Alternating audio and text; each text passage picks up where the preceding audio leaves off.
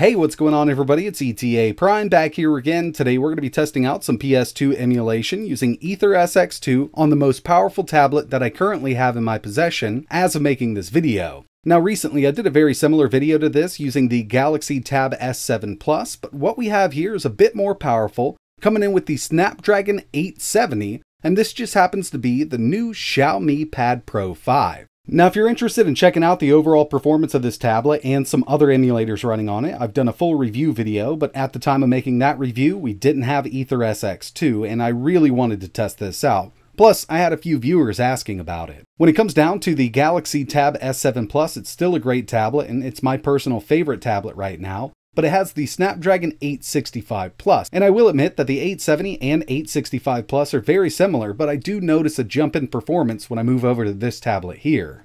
So with this, we've got the Snapdragon 870, we've also got 6 gigabytes of RAM, and a beautiful 11-inch IPS 2560 by 1600 120Hz display. This could have easily turned out to be my favorite tablet of 2021, but they did leave one thing out, and that's display over USB Type-C. Unfortunately, we cannot do HDMI over USB Type-C on this tablet, and for me, that's a big letdown. And that's one of the main reasons I'm a huge fan of the Galaxy Tab S line. And we do have rumors that the new Tab S8 will be releasing in 2022, and that thing's going to be an absolute monster when it comes to Android gaming and emulation. As soon as I can get my hands on one, I will be doing a ton of videos, but for this one here, we're using the Xiaomi Pad Pro 5. I've also got the iPega 9083 telescopic controller connected, and when it comes down to it, the 9083 isn't a horrible controller, but it's not top of the line. It's really the only one that'll fit these larger tablets, and that's one of the main reasons I use it. So with that out of the way, let's see how this tablet performs with the new Aether SX2 PS2 emulator for Android. So first on the list, we have Auto Modellista, one of my favorite racing games of all time, and my favorite version of it was on GameCube, but here it is running with the new Aether SX2 PS2 emulator for Android at 3x resolution with the Vulkan in. I did try OpenGL, and at 3x I did have a few hiccups, but Vulkan is smooth as butter on this Snapdragon 870 tablet.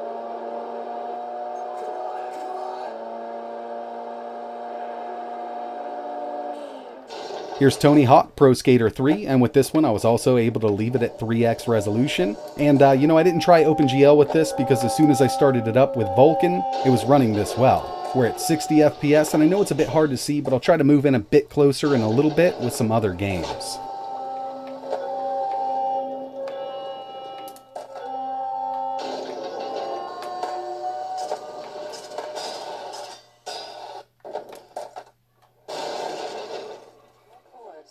Spider-Man Friend or Foe, Vulkan back end, 3x resolution. Again, this one's performing really well on the Snapdragon 870. I just kind of threw this in here because, you know, back in the day, I really did enjoy this game.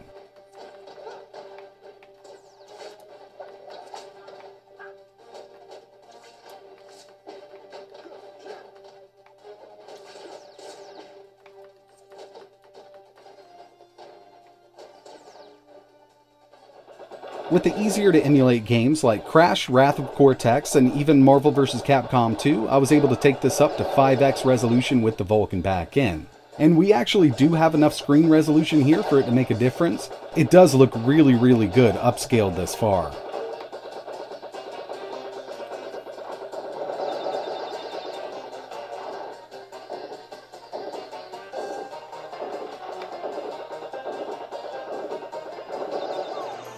Here's Marvel vs. Capcom 2, and I had a good feeling we'd be able to take it up to 5x. We could probably go a bit higher with this. After all, it's just a 2D game that was ported to a lot of different systems. But I personally really don't notice much of a difference with these 2D fighting games going from, let's say, 2x up to 5. It kind of looks the same to me. I can definitely tell going from 1x to 2, but, uh, you know, going this far up doesn't make much of a difference, at least to my eye.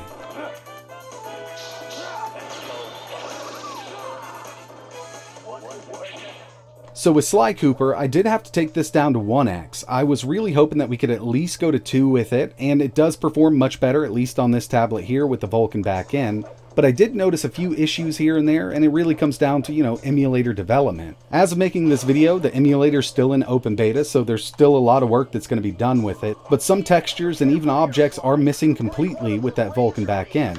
When I drop down here, you'll see those walls disappear.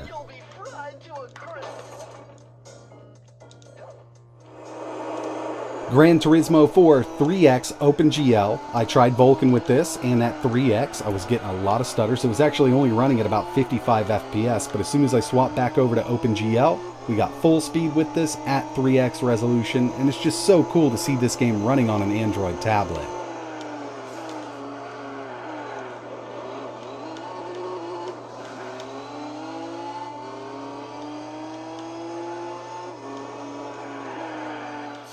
Tekken 5 has always been a relatively easier game to emulate with most PS2 emulators, be it, uh, you know, even on Android or x86. And with this here, I knew we'd have great performance. Vulkan back in, 3X running at full speed.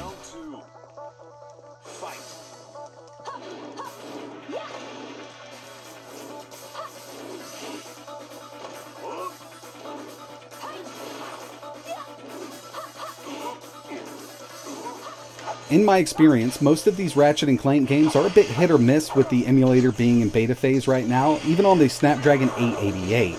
Here's Going Commando at 2x with the Vulkan back in, and at first I was really excited because we were at full speed, but once we go down a few of these halls, there's lots of particles on screen, it does drop down. I really do think that we'll get full speed through these games at 2x as soon as, you know, more development goes on with this awesome emulator.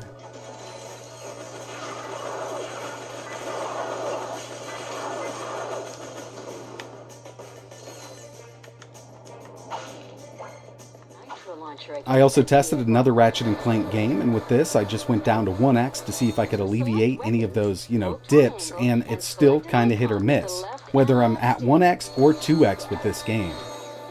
Hold L1 to precisely target your weapon.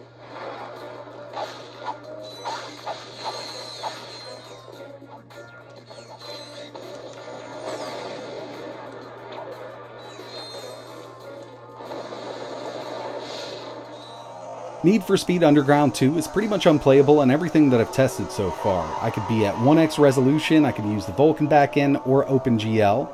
I've also tested this on my most powerful Snapdragon 888 device, and I'm still getting really bad performance, but when it comes to the first Underground game, we can do this at 2x with the Vulkan backend or even OpenGL, and it runs great.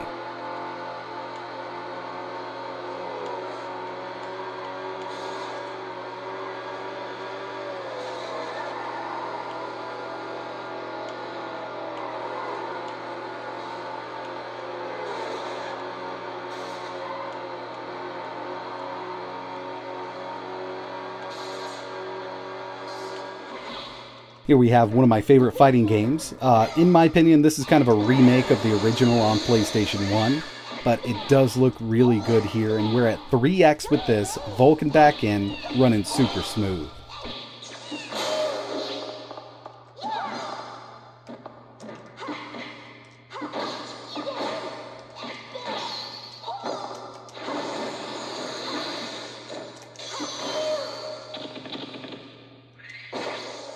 And finally, at least for this video, God of War 2, and with this one I'm actually using the US version of the game itself, so we can run at 60, but I would definitely prefer using the European version. It's only going to go to 50, but it does run a lot better on this device.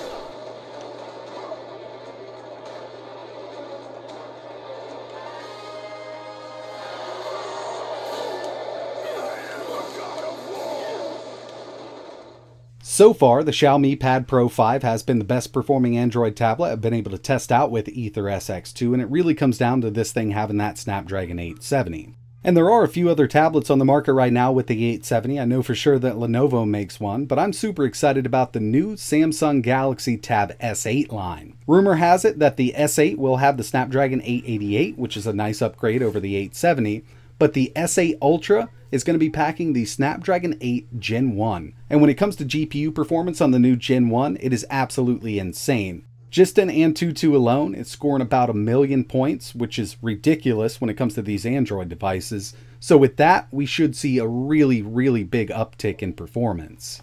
But that's going to wrap it up for this one. I really appreciate you watching. If you're interested in just checking out my full review on the Xiaomi Pad Pro 5 with native Android gaming and some other emulators running, I will leave a link for that in the description. If you have any questions, let me know in the comments below. And like always, thanks for watching.